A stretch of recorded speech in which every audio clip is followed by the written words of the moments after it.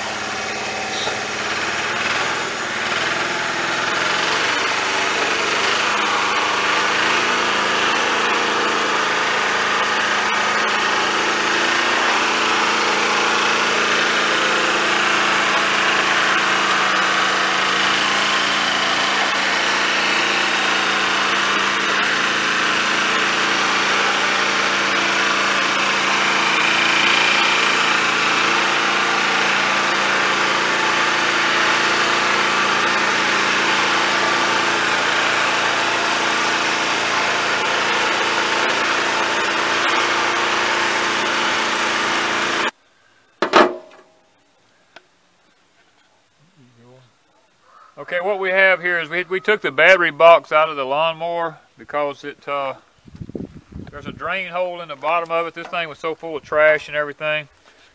And what had happened to the original pulley in the bottom of the lawnmower down there is that the old battery had leaked acid and because this hose was not on it, the acid dripped on top of that pulley and ate the pulley up on top of the transmission. So what we're going to do is we're going to try to reroute this hose and get it away from that pulley in the event that that happens again.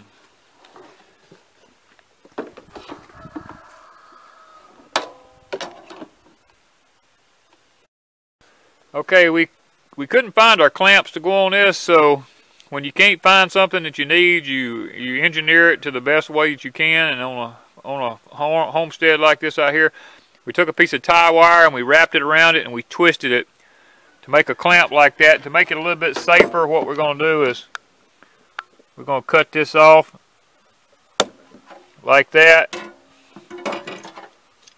And then we're going to just kind of kind of bend that over and that way we won't won't be stuck our hand under there some way and get ripped open on that.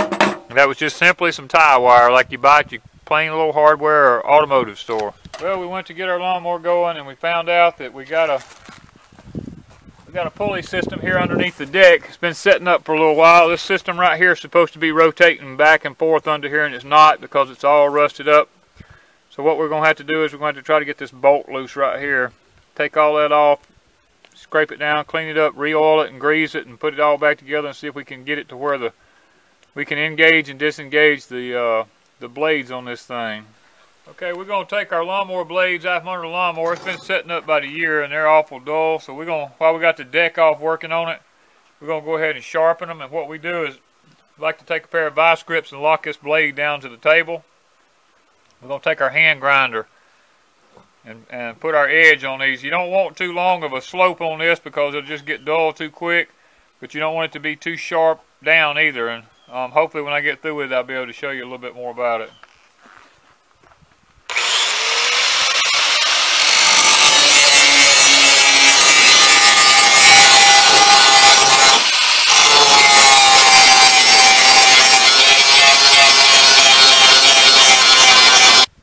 Now that we've got some of our sharpening done on our blade here, it's a kind of an old blade, but rather than throw it away right now, we're going to try to get all the use we can out of it. We've sharpened it. Next thing you want to do is take and balance it. You want to take, make sure that there's no no extra rust or dirt or anything on it. You want to come over and you want to drive your nail in a post. You want to be able to take this blade and put that nail right in the center of that blade and let go of it. And when you do, we're seeing that this side of the blade here is still heavier than the other side, which means if you put it under the lawnmower like that, it'll vibrate and it'll break, it'll beat your bearings out under the lawnmower. So what we're going to do is go back and take the grinder and we're going to take a little bit more off of this side here.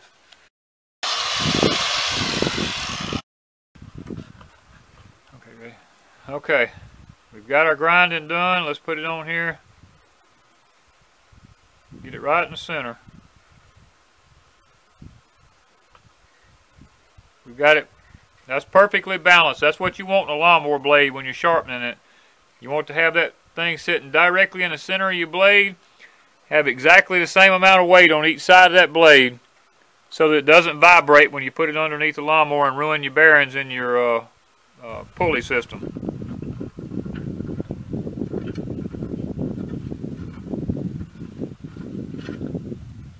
Something. When you put this blade under a lawnmower, let me back up here. I want to show you something this particular type of deck, there's a star-shaped piece on the bottom of the lawnmower here. What you want to make sure of is when you put that blade on that, you want to make sure that that blade goes up on that star really, really good. And you keep it there till that bolt is tightened down. Because if it gets off of that star the least little bit, it will actually ruin the bottom of that pulley. Now that there is, you don't want any bill to have any slack in it. Okay, when you put these blades on the bottom of a lawnmower, you, it's good to wear a pair of gloves just in case because you've just sharpened the edges on these. When you tighten this thing down, if you put a block of wood against the deck, it'll make it a whole lot easier to, to tighten that thing down. You can just kind of bump it that's all you need right there. That's, that's the easiest way to put the blade under now, there. when you put these blades on there, there's a top and a bottom. You want to always make sure that you put the right side up. The wing part that turns up always goes to the top. That's what creates your vacuum and your suction underneath the deck to blow the leaves out from under there. And remember, we want to make sure it fits on that star really, really good.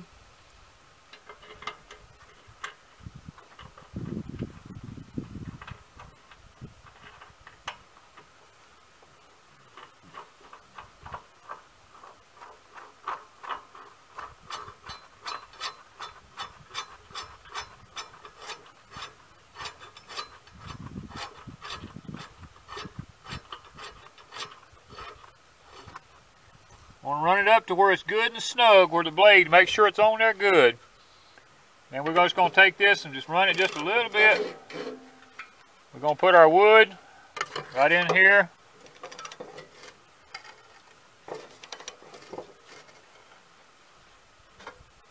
Because right there is what I'm talking about. That's that sharp edge. You want to always be sure you got something on your hands because if this wrench was to slip that right there, you'd be going to the doctor. Get it down below it. Just tighten it down. There you got it. For the deck a while ago, all this was froze up, wouldn't move at all. So we've taken it apart, we've ground it down, all the rust off of it, we've re-greased it, and now this is the part that locks in and out and locks your blade in and out underneath the deck. That's what was froze up on it, so we've got all that working now. Now, we got to put the deck back under the lawnmower.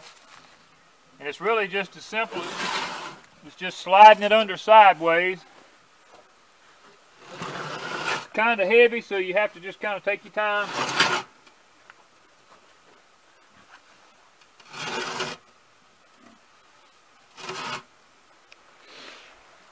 When you get it under there, the first thing you want to do is make sure you hook this belt back up around the front of the motor there. Okay, underneath the lawnmower on this one here, there's going to be a couple of rods that's going to have to be hooked up. It's just going, all it's going to be is a matter of moving the deck around, getting them in place, sliding the pins back in it. All right, and this one here picks up, slides on right there. Got a cotter key that it just snaps in there. We just got the same thing on this side. We just pick it up, work the deck around till it slides up over that rod right there. And you got a cotter key, snaps right back in that one. Then we've got one more on the front right here. It snaps through. Should be a washer that goes over that.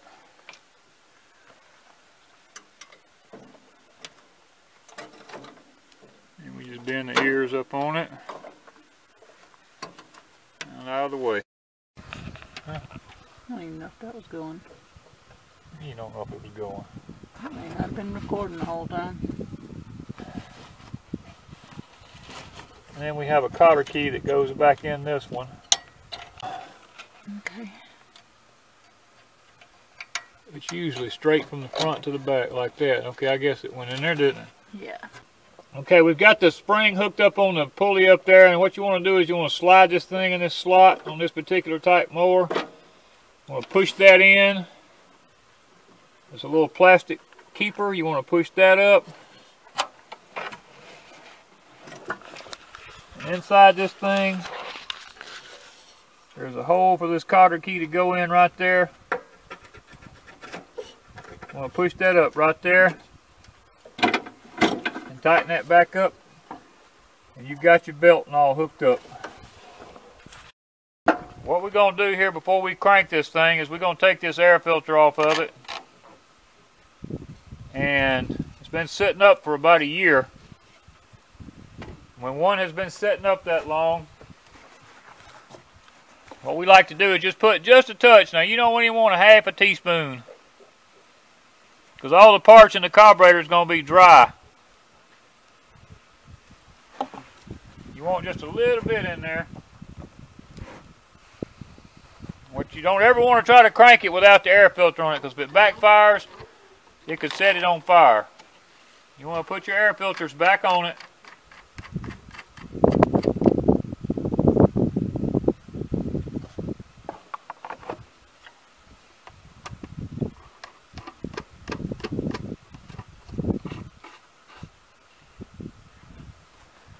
Mower ain't been fooled with in a year. We're just hoping that it'll at least try to start. Okay. Okay, we're gonna give it a test run here.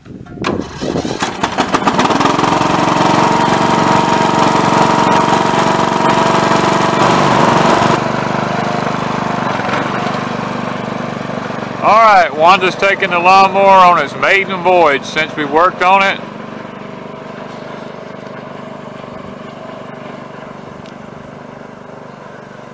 Take it up and just see if it's doing what it's supposed to be doing. See if the deck and the blades and all work.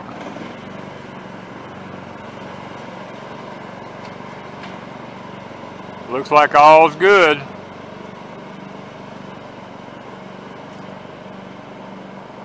Looks like it's mowing good.